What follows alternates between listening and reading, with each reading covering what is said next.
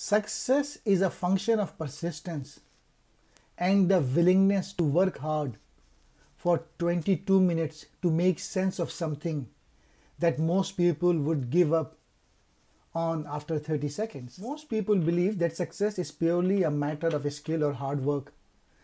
Albert Einstein and Bill Gates succeeded as a result of their innate genius and IQ. Malcolm Gladwell examined this question whether the IQ and intelligence is required for success. The relationship between success and IQ works only up to a point.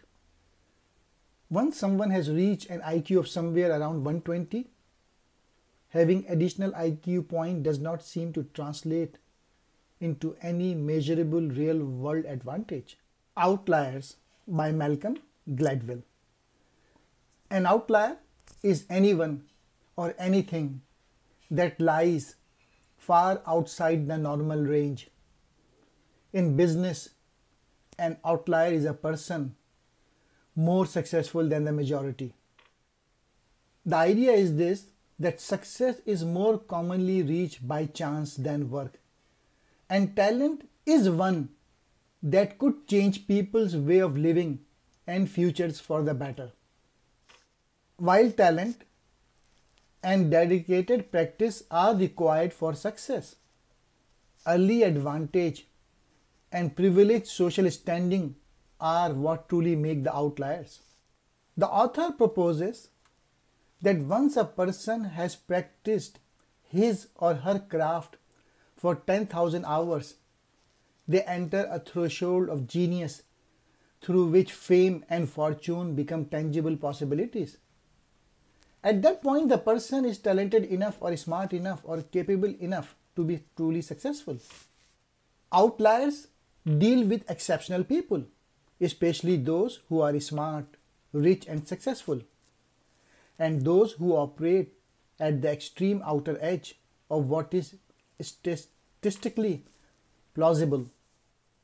Gladwell argues that success is not found by exceptional people, but instead is the result of individuals making the most of hidden advantages, extraordinary opportunities, and cultural legacies. People who don't know their culture usually lack cultural identity, but they also lack the means to succeed in life. Cultural legacy determines someone's destiny and their means to success. Bill Gates mirrors Malcolm Gladwell's outlier ideas of 10,000 hours, a special opportunity, and grit that led him to billionaire status. The, the ability to obtain 10,000 hours was standing right in front of Gates. He took those hours and ran with them. When looking at factors determining the stories of success, Gladwell wants to explore even the smallest of elements. Gladwell believes these elements accumulated over generations make specific demographics more likely to succeed than others. The culture we belong to and the legacies passed down by our forebears shape the patterns of our achievements in ways we cannot begin to imagine. 10,000 hours work out to be around 20 hours per week for 10 years. 10 years is a long time but 20 hours a week isn't so bad, especially when you consider the average American watches 5 hours of television a day. Cultural legacy. A cultural legacy is the inheritance of cultural traits that influence our success or failure. They are often determined by cultural practices from centuries ago that have been passed down through each generation. Termites is a label that an early 20th century Stanford University professor of psychology used for the genius IQ boys he studied. Success does not happen in a vacuum. It is not based on intelligence, but on variety of factors. We could have many more successful people in our country if we accept the idea that it takes a village to make successes out of our children. Hard work and opportunity are more important than intelligence. Asian has developed a culture which excels at math, meaningfulness, the thing which you are doing have some meaning for you, some deep meaning, expertise. This is different from success. It takes hard work of 10,000 hours of consistent practice to become expert at something. If you have the desire or the need, then you spend 10,000 hours. History, your own genealogical history will have a huge impact on what you do, how you act regarding things.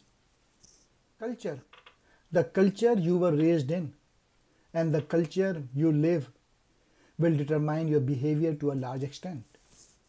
Outlier people who excel have many others to thank, including family members who lived two or three generations before their birth. Success is the result of what socialists like to call accumulative advantage. In other words, what makes an individual an outlier is the accumulation of hard work, opportunity, and a little bit of luck. The book did the in depth stories of Bill Gates, Bill Joy, Beatles, and more in an attempt to find the combination of advantages that these people enjoyed and made these people successful. We all think that success comes from talent and determination, but the author said that success does not completely rely on those factors.